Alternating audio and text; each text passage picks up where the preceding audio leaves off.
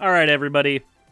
It's Halloween time. That means spooky times. Uh, that's why we've been in Mad Monster Mansion for so long, and that's why we're currently in the bottom of the well in Ocarina of Time.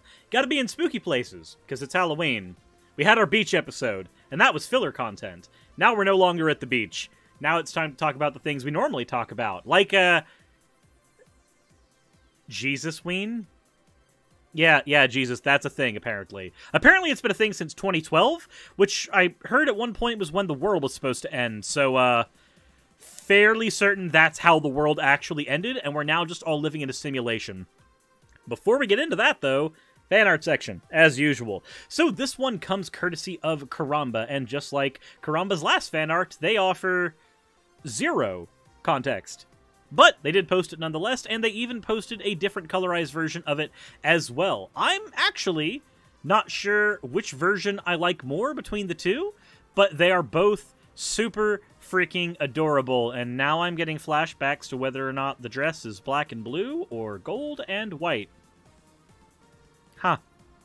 Well, that's an unlocked memory. Now I'm going to suffer forever. As always, thank you all for your fan art sub submissions. Submissions. If you want any of your fan art shown in future episodes, the best way to do so is dropping it into the fan art section of the Discord. With that said, let's go ahead and get right into the content. Roll intro. And now that the intro's done, God, that feels so weird saying that because, like, I know that people who are watching on Twitch will not see the intro. That is only for the YouTube folks when that goes up. So, let's talk about Jesus Ween.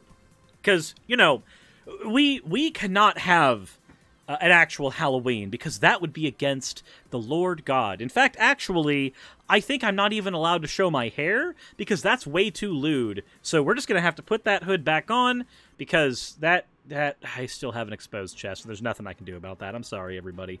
Wait, I should have done this entire episode in the French maid outfit. That one, at least, is not as exposed. Oh well. Fuck it. Put off.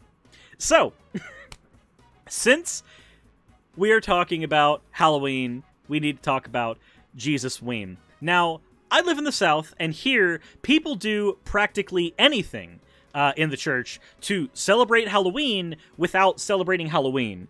The reason we do that generally is because, well, kids are going to want their candy and they're going to want their experience, their Halloween experience, but we don't want them doing any of that uh cursed satanic stuff. So, what people end up doing, uh, we have all kinds of things here. Like trunk or treat is one of the things that's been done for years, where instead of going house to house, you just park a whole bunch of cars in the church parking lot and you go trunk to trunk. And I'm not gonna lie, that sounds a whole lot more lame than going around the neighborhood and seeing people's haunted houses all decked out in Halloween stuff. Yeah, uh, Jesus Ween was a fucking Halloween thing. Yup. Oh, did you think I was talking about Jesus' weenus? Sorry, he got pegged by a bunch of Roman guys. They're the only ones who got to see his weenus.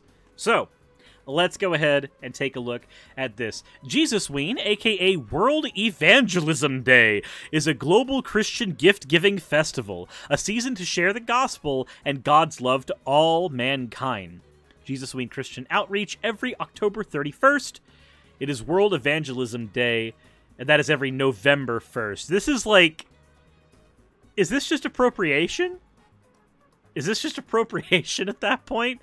I don't know. They have videos up here for us to watch for context. So let's go ahead and look at one of those real quick. Again, this is from 2012, but this is every October 31st. So, uh, welcome to the dungeon, everybody. It's Jesus Ween in here.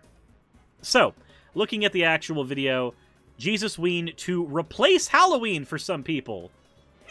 It won't be long before the creatures of the night come knocking, some ready to scream for the sugar. Ow! Why did your crotch goblin yell at over 30 decibels? Ow! You had somebody in an editing booth who could engage in sound mixing. And yet you chose violence. Why? Not okay. Now I'm scared. How is the how is the rest of this gonna be? God, I wasn't expecting a jump scare during a Halloween video. Well, shit. It's the scary part of Halloween that concerns two public elementary schools in Calgary.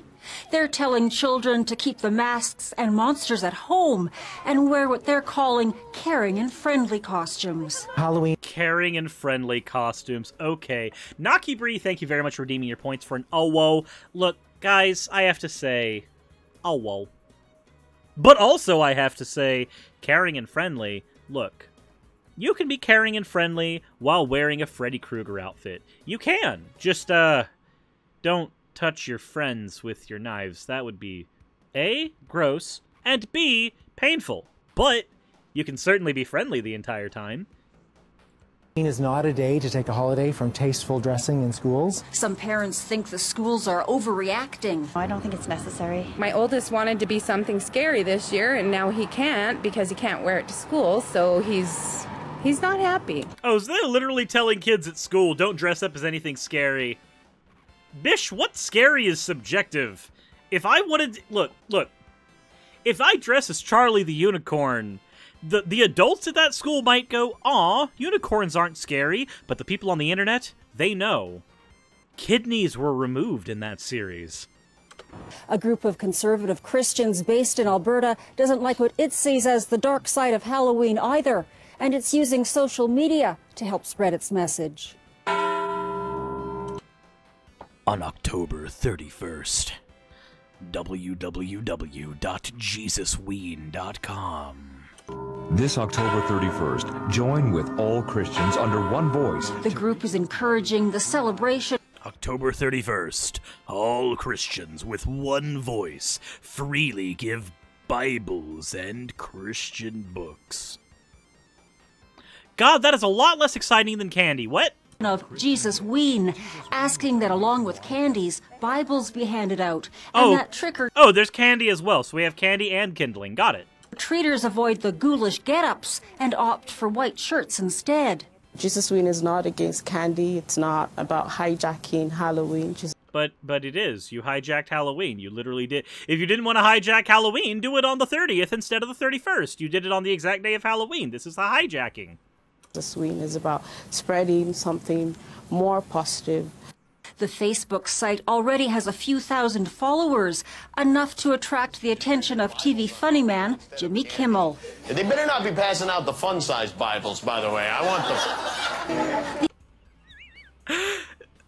I wonder. Wait, Jimmy, you know that fun-sized Bibles are a thing, right? You know those little green New Testament Bibles? Those are fun sized Bibles. We were passed those out at PCA. The origins of Halloween are actually Christian, says this religious studies professor. It originated uh, within the church as All Hallows Eve. It's really a sort of time for kids to have fun. And that's about all there is to it. There are no deep uh, pagan connections to Halloween. Harmless or horrid, there's no question children will still be out this year. But if the weather turns frosty, some will be forced to wear parkas, a truly chilling thought for everyone. That. That was a pun. You had every ability to not say that pun, and yet you chose it. So Jesus Ween, everyone. There. So here's the thing. Here's the funny thing. This is one of the things that was actually shown on the Jesus Ween website. It has a mailing list. I am not going to be going on the mailing list. We got a thing from CBN here as well, and a thing from Huffington Post. Uh, let's see how long is the, the Huffington Post one's a minute and thirty. Let's look at the CBS News one and see if they offer any different perspective. It's probably going to be about the same.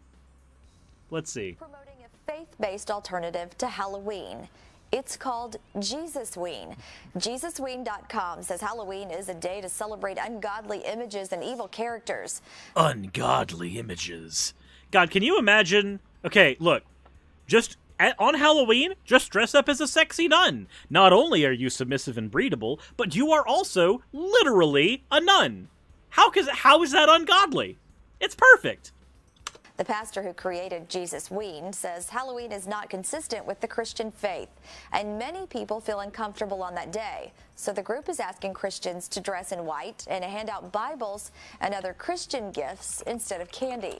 It also asks people to knock on doors and share the message of Christianity. The head of the Department of Religion at Texas Christian University gave her take on Jesus Ween and Halloween. For many Christians, that is the primary point, um, that you spread the word. And so I think you take whatever opportunity you've got. I don't think Christians need to feel guilty um, about um, putting their kids in costumes um, and sending them out. God, imagine that. We have two experts on religious history who both are just like, yeah, Halloween's fine. Get your panties out of a twist, Karen. Jesus we Ween, everybody. To uh, shake down the neighbors for candy bars. Nadia Lahutsky also notes that, like many American holidays, Halloween has pagan and Christian roots. She says Halloween means All Hallows Eve, the day before All Saints' Day. Yeah. No, it, literally, exactly. Duh. oh, my Jeebus. It is so weird. Remember, they're not trying to hijack Halloween, everybody. Definitely not. They just want the kids not to participate in Halloween. Therefore, they're not hijacking Halloween. Oh, well, yeah, no, no. That's where we are. That's where we're at now. We're at that level of lying. But apparently this has been a thing going on for like eight years? Oh shit, it's 2021. God damn it. 2020 was the longest decade of my life. Fuck. I forgot about that. Nine years. This is apparently been a thing going on for nine years. So, uh, here's where I throw it back to you guys. If you have any Jesus Ween stories that you want to say in the comment section below, go ahead. Let me know. I, I want to know, because this is the first time I've experienced, uh, Jesus Ween. I have had no idea what this is. The closest thing I've had is the, the trunk or treat stuff. But yeah, I want to know what you guys think. Let me know in the comment section below. Hit the like button if you haven't already over on YouTube. Follow over on Twitch if you haven't already. And if you want to support the channel and what I do, the best ways to do so are in the description. You can check over on Patreon, where I submit all of my vlogs. You can check down there as well for other ways to support the channel, uh, via the sponsors or even the merch store. But if you enjoyed this video, hit the like button if you haven't already. And share it with your friends. This, uh, Jesus Ween. Alrighty, everybody. As always, insert of video tagline here. Hey, thank you so much for watching this video. It really means a lot to me.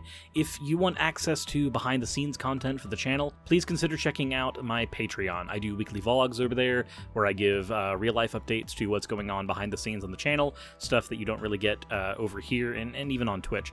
Uh, Patreon also helps the channel's stability a whole lot. Without Patreon, I wouldn't be able to do this at all. Especially with the kind of content that I do, neither YouTube nor Twitch are the most stable sources of income. If you are a $20 and up patron, then you will be featured on the ending slides as shown in the beginning of the end credits. If you want to catch the streams where all this content comes from, then consider heading over to Twitch and following. And if you want to continue watching over here on YouTube, maybe consider clicking one of the end screen videos. And once again, I want to thank you so much for spending your time with me over on my channel. I wouldn't be able to do literally anything that I'm doing over here on YouTube without each and every one of you. So, thank you.